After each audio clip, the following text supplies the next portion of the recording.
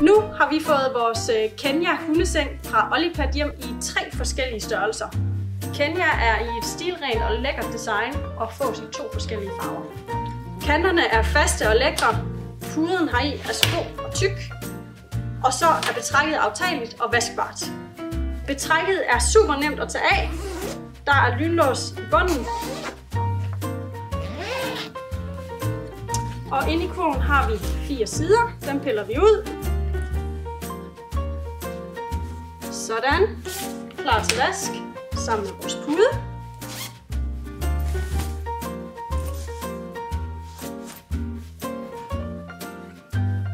Igen, så er det altså en hundekurv i super lækkert materiale.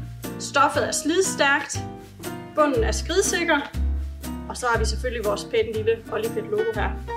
Anton, han sidder i en størrelse small, og så har vi medium og large.